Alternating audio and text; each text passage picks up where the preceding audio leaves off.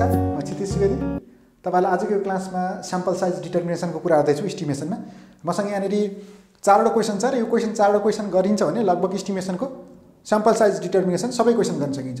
मसँग यहाँ एबाउट मिनको पनि छ र एबाउट प्रोपोर्सनको पनि छ। अब हाम्रो खास स्याम्पल साइज डिटर्मिनेसन भने चाहिँ के हो भन्दाखेरि जस्तै यति इरर हुने चान्स हुन्छ जस्तै हामीले काम गर्दा सर्टेन जस्तै मेसिनको इरर होला अथवा हुम्यानको इरर होला होइन?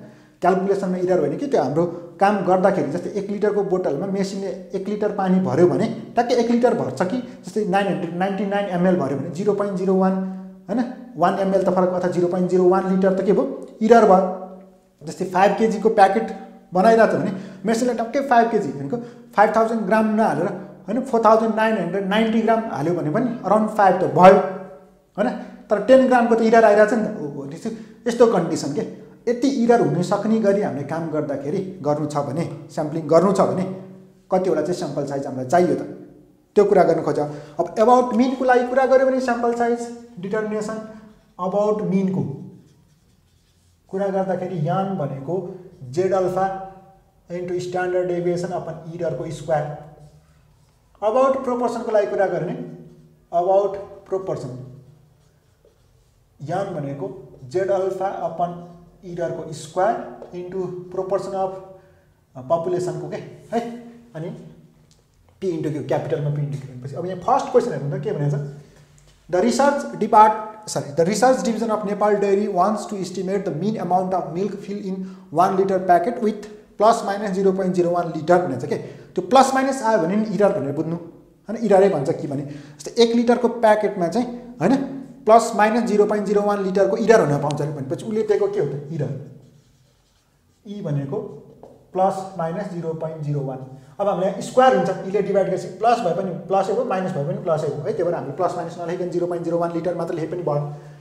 अनि त्यसपछि with ninety five percent confidence rate भनेपछि अल्फा भनेको वान माइनस अल्फा भनेको नाइन्टी फाइभ पर्सेन्ट भनेपछि अल्फा भनेको कति आएको फाइभ पर्सेन्ट मतलब Z zero point zero five भनेको वान पोइन्ट नाइन सिक्स यो त हामीलाई थाहा छँदैछ the division assume the standard deviation as standard deviation population हुन्छ zero point zero five litres चाहिँ।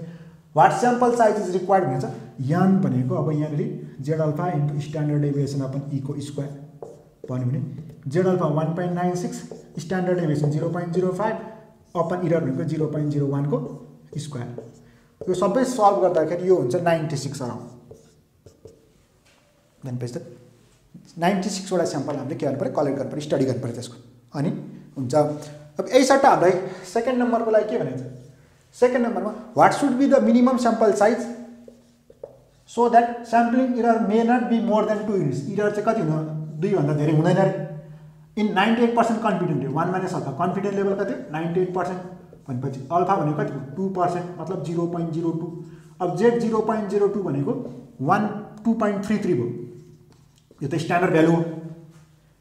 वाइन पपुलेसन स्ट्यान्डर्ड डेभिएसन कति हुन्छ त? स्ट्यान्डर्ड डेभिएसन कति हुन्छ ट्वेन्टी हुन्छ भनेपछि यान इक्वल्स टु यही फर्ममा अनुसार राख्ने जेड अल्फा भनेको one two point three three into standard deviation twenty divide by error भनेको कति छ? टूको स्क्वायर होइन? यो गर्दाखेरि five forty two point eight nine आउँछ। यसलाई राउन्डिङ गर्दा यो फाइभ फोर्टी थ्री भनेर मैले वटा नम्बरमा भयो eight point eight nine one यसरी वान र टू गरेँ। थर्डमा के भनेछ थर्ड क्वेसनमा जाउँ three नम्बरकोमा। Research researcher wishes to estimate the mean of population by using sufficiently large sample रे the probability is zero point nine nine that the sample mean will not differ from the true mean by more than twenty percent of the population standard deviation how large should be the sample size हुन्छ कि? Error चाहिँ कति हुन पाउँछ अरे भन्दा twenty percent of the population standard deviation अब यहाँनिर लेट थ्री नम्बरको लागि स्ट्यान्डर्ड डेभिएसन थाहा छैन। सिग्मा मान्यो भने इरर कति हुनु त? Twenty percent of standard डेभिएसनको zero point two standard deviation error चाहिँ जिरो पोइन्ट टू हन्ड्रेडले मजाले भनेको छ कि? Sample mean will not be differ from the true mean by more than twenty percent of the population standard deviation जति standard deviation छ त्यसको twenty percent चाहिँ इरर हुन पाउँछ अरे। अनि फेरि भनेको छ भने अब यहाँनिर researcher wishes to estimate the mean of population हुन्छ यहाँसम्म के छ। The probability zero point nine nine that the sample mean will not differ भनेपछि प्रोबेबिलिटी त्यो मिल्ने चान्स कन्फिडेन्ट लेभल चाहिँ कति छ त? वान माइनस अल्फा भनेको चाहिँ अरू बेला चाहिँ नाइन्टी नाइन पर्सेन्ट भनेर दिन्थ्यो यहाँ चाहिँ जिरो पोइन्ट नाइन नाइन भनेर दियो मतलब अल्फा भनेको त कति हो? Zero point zero one Z zero point zero one भनेको कति हो त? टु पोइन्ट फाइभ सेभेन यो त वान पर्सेन्ट रिक्स जस्तो भयो नि त।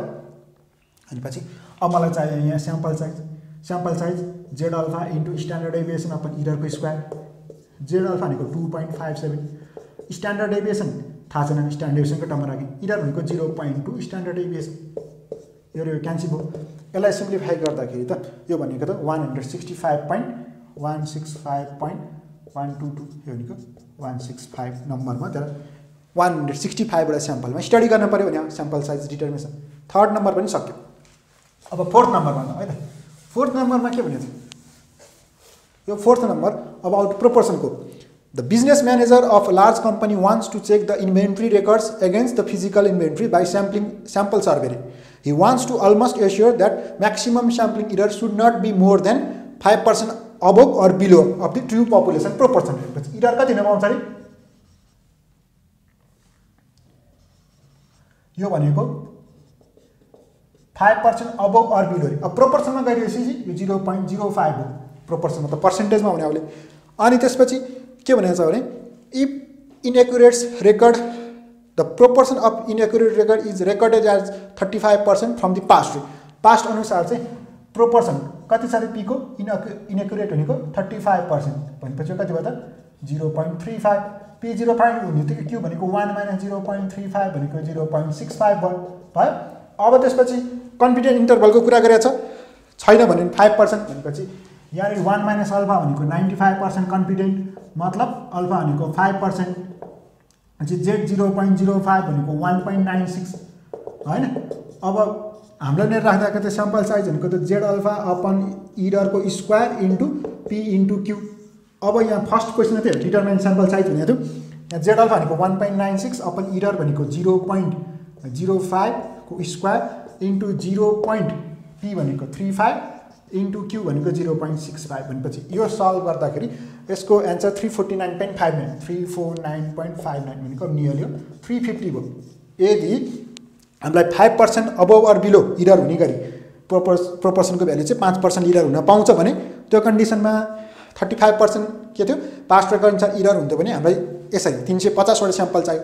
सेकेन्डमा के भन्छ भने how large should how large sample should be taken when such estimate from the past experience is not available यो थर्टी फाइभ पर्सेन्ट भनेर हामीलाई थाहा छैन पास्टको भनेपछि if past record is not available भने इफ पास्ट होइन?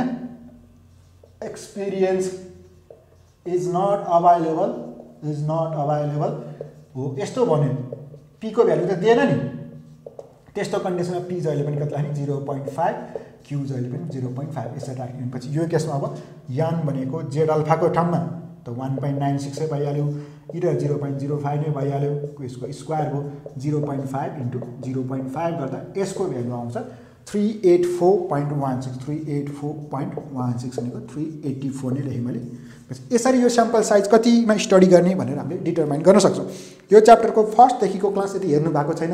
यो मात्र हेर्नु भएको छैन कन्फ्युजन होला बुझ्नलाई। फर्स्टदेखि हेर्नुहोस् हेर्नु भएको छैन भने यदि फर्स्टदेखि हेर्दै आउनुहुन्छ भने तपाईँले मजाले कम्प्लिटली यो च्याप्टर सबै टपिक्स बुझ्नु होला जस्तो लाग्छ। बुझ्नुभयो कि बुझ्नु भएन कमेन्ट गर्नुहोस् च्यानललाई सब्सक्राइब गर्नुभएको थिएन भने सब्सक्राइब पनि गर्नुहोस्। हेर्न हेर्नुभएको भिडियोको लिङ्क मैले तल डिस्क्रिप्सनमा प्रोभाइड पनि गरिदिएको छु। यति भन्दा यो क्लासलाई सकेँ। Thank you